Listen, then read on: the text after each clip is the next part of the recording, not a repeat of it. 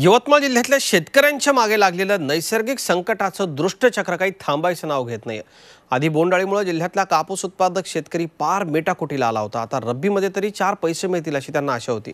मात्र गारपिटीमुळे शेतकऱ्याचं सगळं गणितच बिघडून गेलंय. वेचणीला आलेला कापूस शेतातच भिजलाय.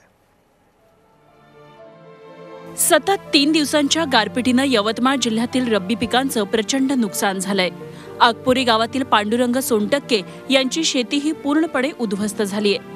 त्यांचं साडेपाच एकर शेतातील कपाशीचं पीक गारपिटीमुळे मातीमोल झालंय. सगळा कापूस गारपिटीमुळे गळून पडला आहे. खरं तर त्यांच्या शेतातील कापूस वेचणीला आला होता. मात्र मजुरांअभावी वेचणी रखडली होती. त्यामध्ये आम्हाला जवळपास पण चाळीस ते पन्नास क्विंटल कापूस निघत होता. याची जवळपास आम्हाला उत्पन्न एकंदरीत चार चार ते पाच लाख रुपये मिळत होतं. परंतु या कालच्या गारपिटीमुळे आम्हाला एक रुपयासुद्धा या ठिकाणी उत्पन्न मिळणार नाही. आमची मागणी एवढीच आहे की आज आमच्या घरात काही राहिलेलं नाही आमच्या शेतात काही राहिलेलं नाही पूर्ण शेतं नसतानाबूत झालेले आहेत गहू हरभरा या पिकाची ऊसाची केळी आणि भुईमुंगाची अतोनात नुकसान झालेलं आहे. गारपिटीमुळे रब्बी पिकांचं मोठ्या प्रमाणात नुकसान झालं आहे. महागाव घाटंजी आर्णी दारव्हा या परिसरात पाव किलो वजनाच्या गारा पडल्या आहेत. गारपिटीत ज्वारी आणि गहू आडवा झाला असून हरभऱ्याचे घाटे फुटले आहेत.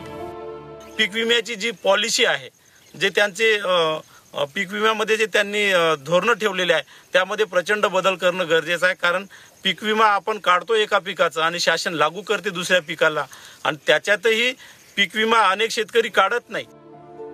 निसर्गाच्या अवकाळी प्रकोपात यवतमाळ जिल्ह्यातील शेतकरी पुरता गारद झाला आहे. गारपिटीत हजारो हेक्टर क्षेत्रावरील रब्बी पिकं उद्ध्वस्त झाली. यवतमाळ जिल्ह्यातील शेतकरी सतत नैसर्गिक संकटांचा सामना करत आहेत. यापूर्वी बोंडअळीनं शेतकऱ्यांचं कापसाचं पीक नष्ट केलं.